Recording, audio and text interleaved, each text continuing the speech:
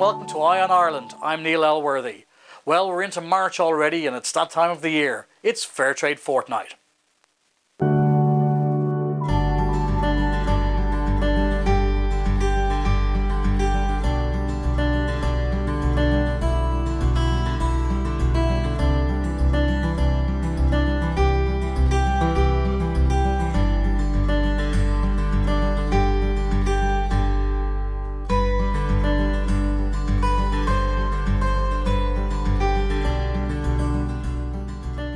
Denis, tell us a little bit about Wexford Town being a fair trade town.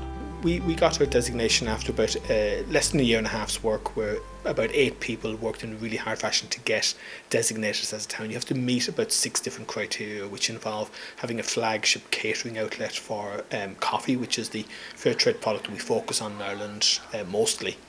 Um, and we also had other catering outlets. Then we also had to have a given number of retail outlets selling fair trade products. And we did an audit and asked people to increase the number of fair trade products they had.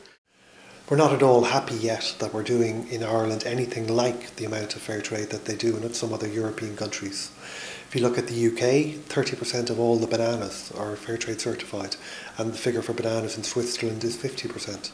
We had to do an educational programme in the secondary and primary schools here in town. We had to get the Borough Council um, to uh, pass a, a motion declaring Wexford a fair trade town, and we also had to do a media campaign.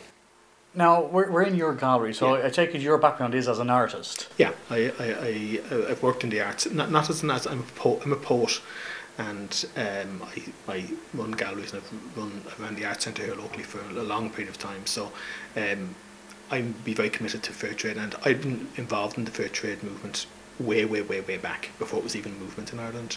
Um, when we were, I was locally from under my stairs selling uh, Nicaraguan fair trade coffee, and that was on the foot of a visit to Wexford back in the 80s by seven coffee workers from Nicaragua.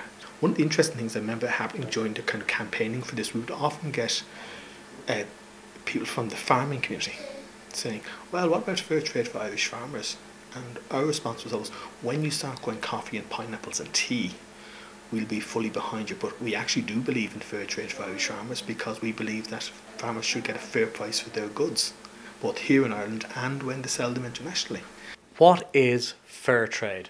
Fair trade is an international movement uh, to uh, improve the lot of um, producers in the third world by people in the first and second world paying a fair price uh, for the products they buy.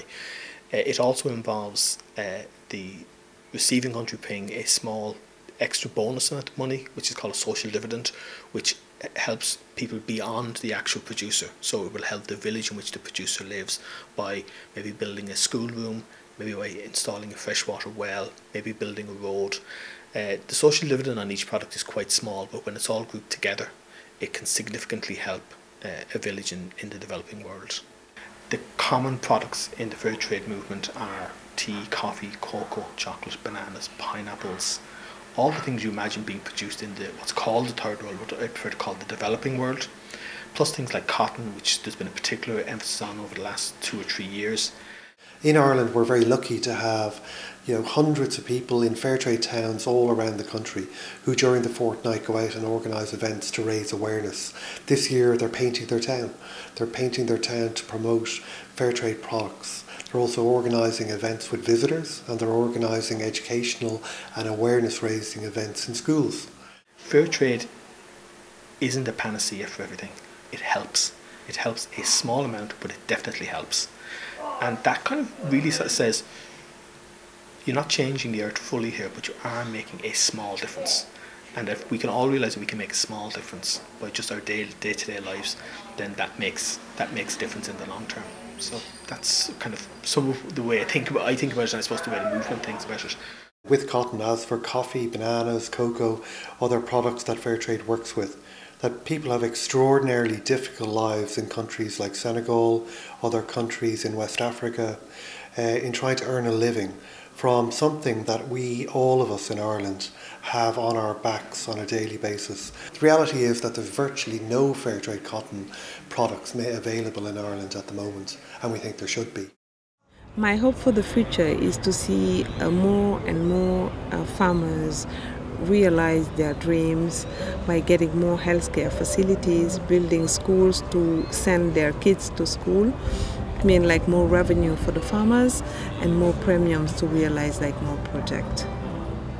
Some people in the fair trade movement want things to be uh, maybe far more radical than that, and other people just just want to do a small bit. So someplace in between is where the movement actually is. Um, I think probably in the long term, the aim of the fair trade movement should be that it just does away with itself. That fair trade then exists, and we don't have to campaign for it anymore.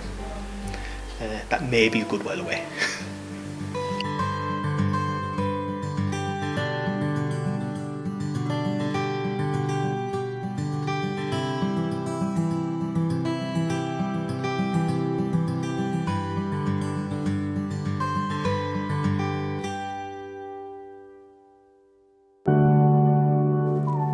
Well, it's great to see Wexford Town doing its bit for a global economy. If you want to find out more about Fairtrade Ireland, why not look them up on fairtrade.ie? If you have any stories that you would like us to cover, give us a shout. All details are at the end of the programme. We'd like you to like, subscribe, and share some of the videos that you see on this channel. Until next time, for Eye on Ireland, I've been Neil Elworthy.